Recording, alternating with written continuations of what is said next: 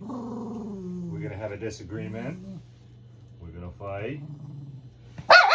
Everybody knows small dogs can be kind of aggressive. They're called ankle biters for a reason, and a lot of it's trained out of him, but it's not fully trained out of him. It's just redirected to the appropriate time. Sometimes it's time to play, sometimes it's time to be a real good boy and wear sunglasses and carry eggs. This video is Minion getting an opportunity to let it all out.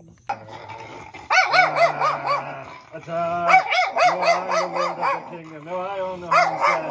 No, I do not eggs.